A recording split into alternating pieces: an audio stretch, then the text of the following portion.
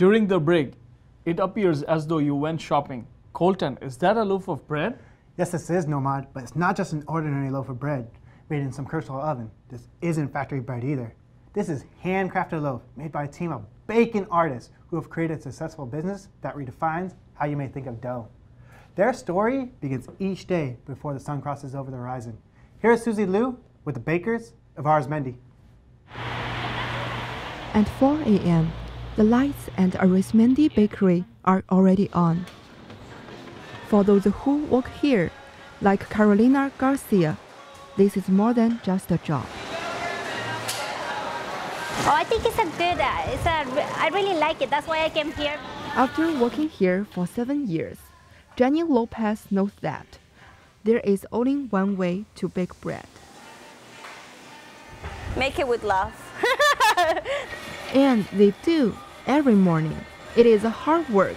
This crew bakes hundreds of loaves of bread, muffins, scones, and pizzas. I'm just building some, we call breakfast focaccia. What makes Arizmendi unique? These men and women work together, not just sharing the baking, but also the profits. This is a cooperative. Dulce Gutierrez came here four years ago. Cooperative system is the best way you can do uh, your own owner, like uh, working together with other group. So I hear about Arizmendi and I say, you know, this is the time, let's do that, why not? Arizmendi was named for a Basque priest, Jose Maria Arizmendi Llera, who believed in greater rights for all workers. He thought that employers should be shareholders. In a cooperative system, everyone encourages each other to grow their skills and their knowledge, myself included. Want to move your hands, your fingers too much? Oh. Just try to do this. Oh. Oh, I, it's like a baby. you want to just gently, gently turn, uh, around. turn around it. Oh. Yeah. Oh. How beautiful bread like this one is offering Dulce chance and priceless education on baking and on life. I don't have the money to pay for school. It's like more than $30,000 and you have here, working here, you have the opportunity. An opportunity to learn on the job. A chance given to Dulce by her supervisor, Erica Harris. Erica began working here in 2010. She's proud of this cooperative movement. Because it's part of a bigger cooperative movement where we hope to be able to create more equitable jobs for people and hopefully um, spread that out into housing and just to create a better uh, lifestyle for everybody.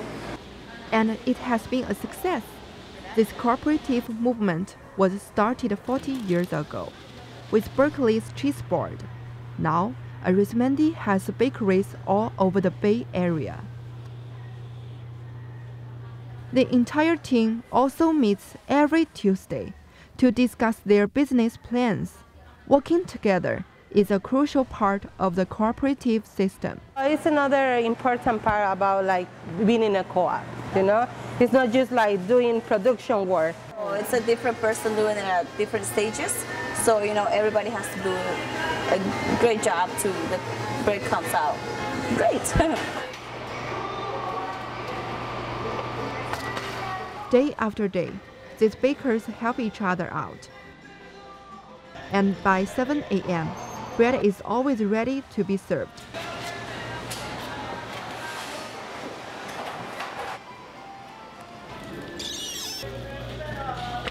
Customers appreciate that.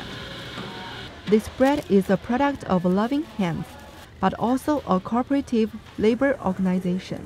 Well, I like that it's all workers owned and the bread is very nice it's fresh like this is still a little bit warm and delicious